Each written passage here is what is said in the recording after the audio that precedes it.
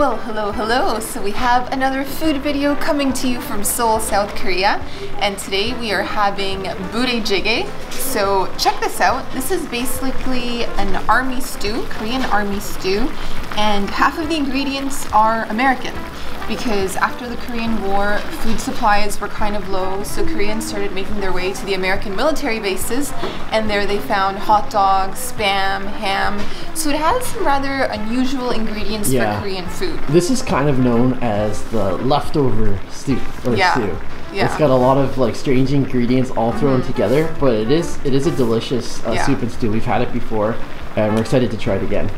So the traditionally Korean ingredients are things such as gochujang, the red pepper paste sauce. Yeah. Mm-hmm. And also have kimchi. And we ordered two supplements. And on the menu they were called sari.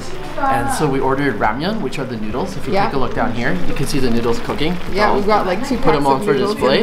and the other thing that we ordered as a supplement to add in was mandu. mandu, the And dumplings. Of course, those are the Korean dumplings. And I just broke one You're just destroying our meal. Whoopsies. Alright. All right, so I guess now we just let it cook. Now we Yeah. wait for it to boil. It's the hurry up and wait time. Yeah. And because this is a Korean meal, we couldn't forget the side dishes, Yeah. always present. So we're, while we're waiting for this to cook, let's give you a tour of the banchan. So let's start here. We have the kongnamul bean sprouts. We have the kimchi, the fermented cabbage. We have kind of the fish cakes, and then we have the greens. So it's a nice mix.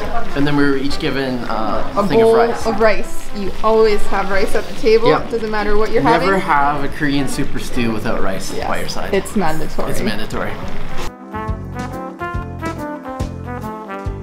So our host at the restaurant just uh, turned off or either turned down our, our pot heat, here, the heat on the pot. So I think it's ready to eat. And as you can see, the noodles definitely look cooked now. Yeah. We also discovered they had some different kind of noodles as well. They have the they're called the, the Korean glass noodles. So we have some other mystery ingredients. We also found that there was some tofu put in as well. Yeah, you can see the big, right big chunks of tofu there. And I mean, So- really, how long do you have to cook spam and hot dogs? I feel like this is all It's good to go. right? So you're getting Okay. the toppings first, and then you're gonna get some of the little soup. bit of everything. Yes, Get some some soup. tofu. Some tofu. Love me some tofu. Trying to keep the camera away so it doesn't fog up. Yeah. But I'll zoom into your bowl. So There we go. There I we go. think I have a little bit of everything. What else? Maybe some kimchi? yeah, add some kimchi. Do you have enough soup? Yes. Ta-da! Okay, so going in for my first bite. Let's have a look down here. Honestly, I think the last time I ate hot dogs willingly, okay, it was probably either the last time I had budae jjigae or when I was in middle school when I would like slice hot dogs and mix them in with like we're not mashed we're not big fans of it on its own, but it, it somehow works in this in this stew, in this Korean soup. Mm, spraying everywhere. Spicy. All right, let's see what else we can find here. Maybe some noodles with kimchi.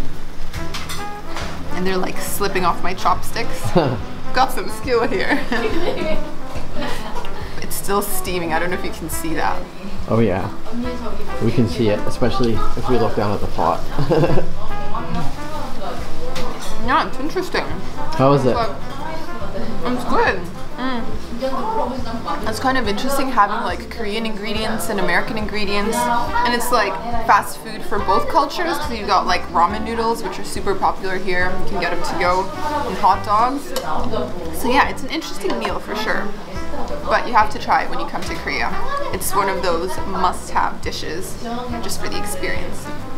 All right, time for me to go in for my first bite. First Getting bite. a bit of tofu, a bit of noodles. How is it? It's quite tasty. Yeah. Yeah. Perfect on a cold day like today. So we may have overcooked ours a little bit. Yeah, All so the we've, water we've, has we've, evaporated. We've turned it off. It's it's, it's being it's, I think it's been mostly absorbed by the noodles, but that's yeah, okay. and it's starting to stick. We're gonna have some nice thick noodles to eat. Yeah, this looks more like a stew than a soup now. Yeah, Check it out. most definitely. All bundled up, ready to face the outdoors. Yeah, it's another cold day here in November in Korea. So in terms of price point, that was uh, very reasonable. the budae jjigae came to 6,000 won per person, so 12,000 in total. And with the mandu and ramyun supplement, that brought it up to 15,000 won. So man ochon won, which is roughly just over like 12 US dollars. So pretty cheap to eat all that food. In terms of the quality and the taste, it's definitely something that we both think is good, but compared to other cr- traditional Korean soups and Like the stews, yeah, like sundubu jjigae and kimchi jjigae, for example, uh, not quite up to that standard. So we would have this every once in a while.